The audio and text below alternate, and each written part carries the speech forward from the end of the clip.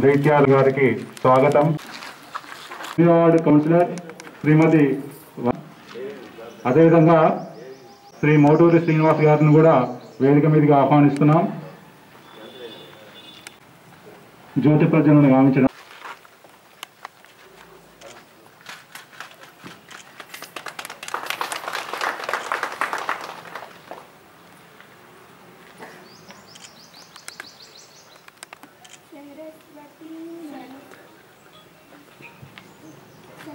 सरस्वती नमस्तुभ्यं वरदे कामरूपिणि विद्यारम्भं జగిత్యాల శాసనసభ్యులు డాక్టర్ సంజయ్ కుమార్ గారికి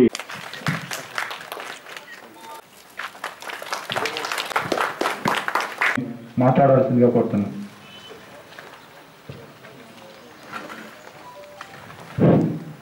ఈరోజు జరుపుకున్న తొమ్మిదవ వార్షికోత్సవానికి వచ్చేసినటువంటి మన గౌరవ శాసనసభ్యులు ప్రముఖ నేత్ర వైద్యులు సంజయన గారికి స్వాగతం.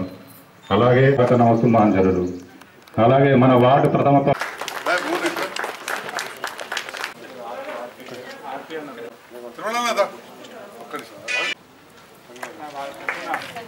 ప్రైజ్ వచ్చేసి ఇద్దరికి కన్సోలేషన్ వచ్చింది. గాది సహస్ర వంగల అమృత. కన్సోలేషన్ బహుమతి సాగుల మేఘన. పార్టిసిపేషన్కి సత్యవతి గారు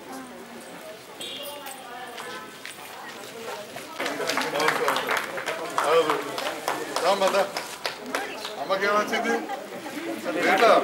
風呂場にある。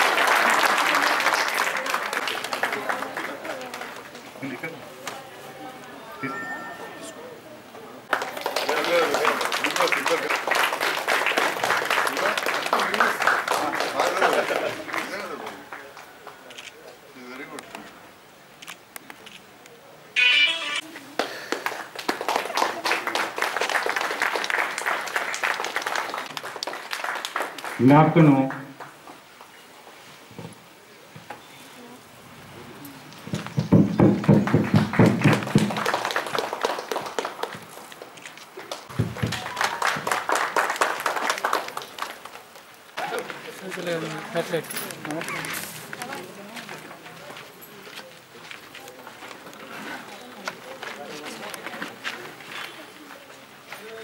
మన కాలనీ సంఘం ఏర్పడి ఇప్పటికీ తొమ్మిది సంవత్సరాలు అవుతుంది. రెండు వేల పన్నెండులో సంఘం స్థాపించ నిర్ణయించుకున్నారు. రెండు వేల పదమూడులో సంఘం రిజిస్టర్ చేయబడింది. ఇప్పటి తొమ్మిది సంవత్సరాలు అయింది. మా సంఘం బైలాస్ ప్రకారము ప్రతి రెండు సంవత్సరాలు ఒకసారి ఎలక్షన్ జరుగుతుంది. ఈ విధంగా ఇది నాలుగు సార్లు జరిగింది. ప్రతిసారి యూనివర్సిటీ అనే ప్రాజెక్టు సెక్రటరీ టోటల్ బాగా ఎన్నుకుంటున్నారు. ఈ విధంగా ఎన్నిక జరగడానికి ఈ విధంగా సాయం చేసినందుకు సంఘ తరఫు సభ్యుల తరఫున అందరికి కృతజ్ఞత తెలుపుకుంటున్నాను. రెండో పర్యాయము రెండు వేల పదిహేనులో నేను అధ్యక్షునిగా ఏకగ్రీవంగా ఎన్నుకోబడ్డాను ఆమె బాడీ కూడా ఏకగ్రీవంగా ఎన్నుకోబడింది. ఆ టైంలో సంఘ సభ్యులము మా కమిటీకి కూర్చొని గణేష్ కాలనీలో ఒక స్థలం ఉంటే బాగుంటుంది. రిక్రియేషన్ క్లబ్ కోసము ఎందుకంటే అంత గవర్నమెంట్ ఎంప్లాయీస్ ఇక్కడ.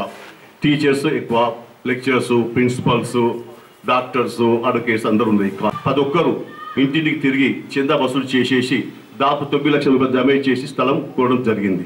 కొనడం జరిగిన తర్వాత అయితే విషయాన్ని మా అన్న సంజయ్ గారికి దగ్గరికి తీసుకెళ్ళాం. అన్నగారు వెంటనే చాలా సంతోషపడి అన్న మాకు కావాలి ఫండ్స్ అంటే సరే తమ్ముడు అని చెప్పేసి అందరు తీసుకెళ్ళి అప్పుడున్న మన కవితక్క మేడం గారికి మా అందరికి తీసుకెళ్ళి పరిచయం చేయడం జరిగింది.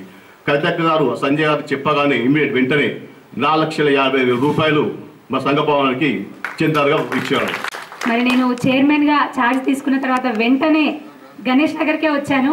గణేష్ నగర్ గణేష్ నగర్ టెంపుల్ దగ్గర ఒక కల్వర్ట్ కోసం సంజయ్ అన్న గారితో కలిసి భూమి పూజ నిర్వహించడం జరిగింది. మరి అలాగే ఇందాక పెద్దలు చెప్తూ ఉన్నారు డెఫినెట్గా అభివృద్ధి పరంగా కూడా కొంత చేయవలసి ఉంది. ఎందుకంటే గతంలో ఎలాంటి అభివృద్ధి అనేది ఎక్కువ కనిపిస్తలేదు మాకు. మరి సంజయ్ అన్న గారు మేము కూడా ఇక్కడ పర్యటించాము. అప్పుడు కూడా అన్నగారి సూచనల మేరకు ఎయిత్ వార్డులో ఇరవై లక్షల రూపాయలని ఎయిత్ వార్డు కేటాయించడం జరిగింది. అదేవిధంగా ఇప్పుడు రానున్న రోజుల్లో కూడా మరి ఇందాక వస్తున్నప్పుడు చూసాము రో రోడ్స్ డ్రైన్స్ కానివ్వండి కొంత చేయాల్సిన అవసరం ఉంది. మాకు ఇక్కడ గౌరవ కౌన్సిల్ సభ్యులు మా వారణాసి తిరుమల తిరుమలయ్య మల్లవ గారు కూడా కొన్ని చెప్పారు. మాకు ఇవి అవసరం ఉన్నాయని. డెఫినెట్గా మీకు ఎప్పుడు కూడా మా సహకారం ఉంటుంది మున్సిపల్ తరఫున. ఒక్కొక్కటిగా చేసుకుంటూ వెళ్దాం. మన మౌలిక సదుపాయాలు ఏవైతే ఉన్నాయో రోడ్స్ అయినా డ్రైన్స్ అయినా మేము చూస్తున్నాము. మా దృష్టిలో ఉంది. డెఫినెట్గా సంజయ్ అన్న గారి సూచనల మేరకు మనకు మౌలిక వసతులు ఏవైతే ఉన్నాయో మన కాలనీకి డెఫినెట్గా కూడా అందిస్తాము. అదేవిధంగా మరి చాలా సంతోషకరమైన విషయం చాలా సంతోషం అనిపించింది ఈ విధంగా మిమ్మల్ని అందరినీ కలుసుకోవడం. ఎందుకంటే మరి కులాలకు అతీతంగా మరి వృత్తిపర వృత్తులకు కూడా అతీతంగా అందరూ కలిసి కుటుంబ సభ్యుల్లో ఎంత చక్కగా ఉన్నారు.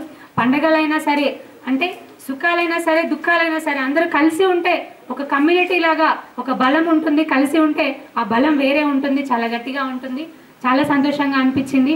ఎందుకంటే అభినందనీయం మీరు ఈ విషయం అనేది ఒక కమ్యూనిటీ ఫామ్ అయి ఇప్పటికి తొమ్మిది సంవత్సరాలు పూర్తి చేసుకొని ఉన్నారు. ఏ విషయమైనా కూడా మాకు మధుసూదన్ రెడ్డి గారు ఎప్పటికప్పుడు కూడా ఇక్కడ సమస్యలు చెప్తూ ఉంటారు. సొంత డబ్బులతోటి ప్రైవేటు స్థలం కొనుక్కొని ఒక సంఘానికి స్థలాన్ని ఏర్పరచుకున్న వాళ్ళు మీరే అని చెప్పి నేను తెలియజేస్తున్నాను. ఒకటే ప్రాంతం కుల సంఘం మీరు తీసుకోవచ్చు లేకపోతే తీసుకోవచ్చు కానీ వివిధ కులాలు వివిధ మతాలు వివిధ సంస్కృతులు వివిధ గ్రామాలు పట్టణాలు వివిధ జిల్లాలకి వచ్చింది రాజకీయాలు ఎప్పుడు ఉంటాయి ఎప్పుడు పోతాయి. ఊకే దాన్ని పట్టుకునే మనిషిని కాదు నేను. దానికి ప్రత్యక్ష సాక్షి నేను ఎక్కువ చెప్పదలుచుకోలే కానీ ఇంతకుముందు సీనియర్ ఎప్పుడు మా మస్తారెడ్డి అని కూడా తెలుసు. మస్తారెడ్డి అని మస్తారెడ్డి రెడ్డి నాకు అపోజిషన్ చేసినాడు. అంటే కమ్సే కమ్ ఇప్పుడు కట్టాలంటే రెండు కోట్లకు తక్కువ కాదు జాగా ఉన్న పని. నీ మోరీలు ఎటు పోతాయా అని అడిగిన. ఇక అందరు ఎటు పోతాయి? గడు పోతాయి మోరీలు లేదు. ఇదరా రెండు కోట్లకు తక్కువ లేదా బంగ్లా? ఇది పరిస్థితి. ఇది ఒక్క దగ్గర కదా నేను అలా ఎక్కిస్తాను గంటలేడు మొన్న మొదటి వాడు పోయినా కొబ్బరికాయ కొడదాం అనేది ఎన్నికాటికెళ్ళి ఉన్నది కదా ధరంపూర్ తవ్వకు విజయపూరి. ఇటు కట్టద్దని ఓర్లోళ్ళు అటు కట్టద్దని వాళ్ళు మరి ఎడవాలి ఛాలెంజ్ చేసే పెట్టిన. మీరు ఒక పదేళ్ళలో ఏం చేసినారో ఈ ఐదేళ్ళలో అంతా ఎక్కడికి డబల్ చేయకపోతే. మళ్ళీ వచ్చేసారి పొడి అని చెప్పి లెక్క లెక్కలే చెప్తున్నాం. బాధపడతా లెక్క చేసి చెప్తాం. యాభై ఏళ్ళ కింద వేసిన పైప్ లైన్ మన తాగితందుకు వచ్చేది. మార్పులు చేర్పులు చేసిండ్రా? గాంధీనగర్లో వలిగితే మోరీళ్ళే మళ్ళీ ఆ పైప్ దొరకదేద్దాం గాంధీనగర్ చౌరస్తా కాడ ఎన్నిసార్లు వలిగిందో అక్కడ ఒకసారి చౌరస్తా కాడాడు నేను రాజకీయాలు వచ్చినప్పటికీ ఫస్ట్ అలా వలిగింది. దాన్ని ఎటు చేయట్లేదని చెప్పి రోడ్ పాడవుతుందని దాన్ని మూరలకు కలిపేసింది అంటే స్వచ్ఛమైన నీరు నీళ్ళు నీళ్ళ మూలకు దాన్ని మళ్ళీ లింగంపేట యాదవులు ఒప్పించి మెప్పించి ఆడికలు తీసుకొచ్చి పది సంవత్సరాల నుంచి వేస్ట్గా ఉన్న దరూర్ క్యాంప్ల ట్యాంకు ఫిల్టర్ బెడ్ ఓపెన్ చేయించే ట్యాంక్ పది సంవత్సరాల తర్వాత నింపించమని చెప్తే వేస్తాం.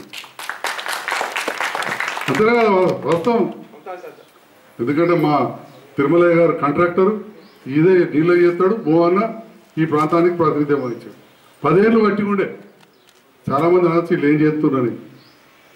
ఆడికెళ్ళి యాదవులు ఒప్పించు తవ్వ రోడ్ పాడవుతుంది ఎందుకంటే రోజు ఏమిచ్చింది స్పీచ్ మీరు ఇల్లే. మిషన్ భగీరథ కమిషన్ల కోసం.